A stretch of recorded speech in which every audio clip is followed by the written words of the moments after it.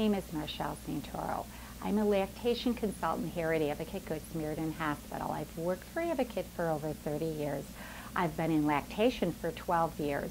We work with you solely in your breastfeeding needs while you're in-house hospital patient stay.